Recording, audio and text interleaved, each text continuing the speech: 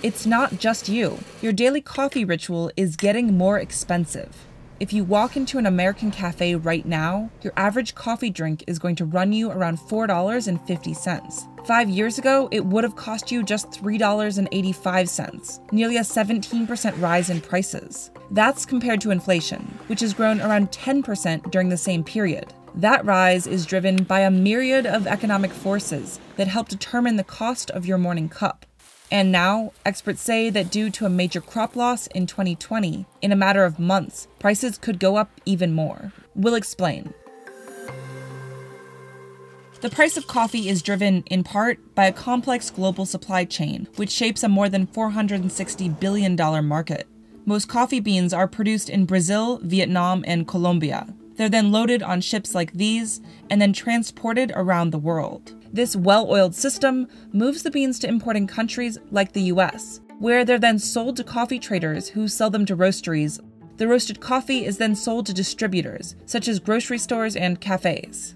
Max Copestake is a coffee futures broker. The trade operates on paper thin margins. It's, it's extremely competitive business now. Things like uh, shipping costs are, are, are massive. During the pandemic, the industry has faced a number of shipping disruptions. A shipping container shortage in Southeast Asia has driven up the price of many commodities, including coffee. Everything is taking longer to get from one place to the other. Uh, containers are piling up in places where they shouldn't be. Jose Sette is the executive director of the ICO, a leading intergovernmental organization for coffee. It's not just Southeast Asia. All over the world, we have problems uh, finding uh, sufficient containers. So that means that freight rates uh, tend to rise and increase uh, prices. Coffee exports are also affected by storms. In Nicaragua and Honduras, communities were devastated by hurricanes last year. They caused a lot of damage to infrastructure, washed out bridges, landslides that block roads. The destroyed roads blocked trade routes, and this meant the supply being imported into countries like the US was diminished. The concern over a lack of supply helped drive up the price of coffee futures, and experts say this could continue. As temperature increases, this affects the viability of growing coffee, uh, especially Arabica coffee. Robusta, as its name indicates, is robust, is strong, and is harder to be affected by climatic phenomena. It's very resistant. But Arabica coffee is more uh, delicate. Uh, it grows within uh, quite a narrow temperature range. Over the past year, the world's largest coffee producer, Brazil, faced a drought that devastated crops. The International Coffee Organization says that around 30% of the country's Arabica crop may have been lost. This year's coffee yields will also be lower because Brazil is in an off cycle harvest, which happens every other year. The off cycle is small, and we know that anyway, but this year is extra small.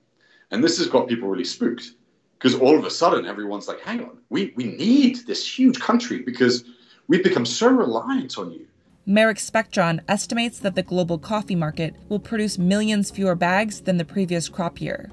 You can see, these factors are pushing up the price of coffee futures. But overall, the effects of the drought haven't yet been felt in your local cafe or grocery store.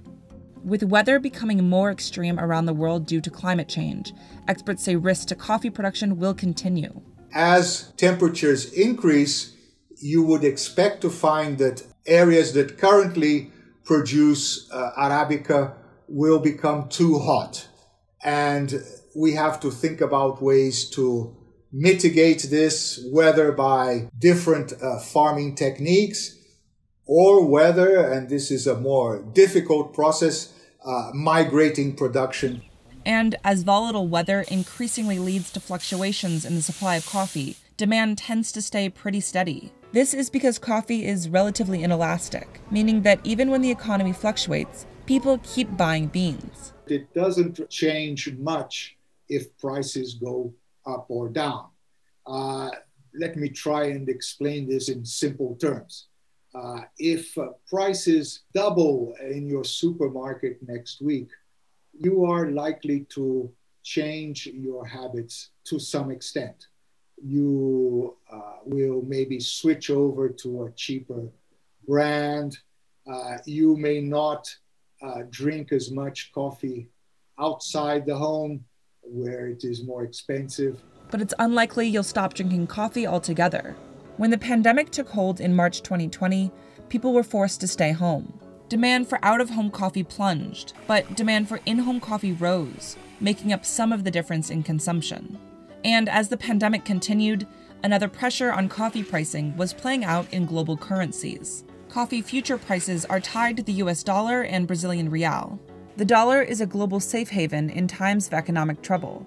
So during the pandemic, coffee farmers were incentivized to take advantage of the strong exchange rate and sell off their beans. The result? Less stored coffee will be available next harvest, when crop yields are expected to be unusually low. This is causing an imbalance between the lower supply of coffee and the expected rise in demand. And this is why experts say coffee prices are currently lower than they should be. They say that this expected rise in prices will affect the entire supply chain, and in six to nine months, it could drive up the price of your morning cup even more.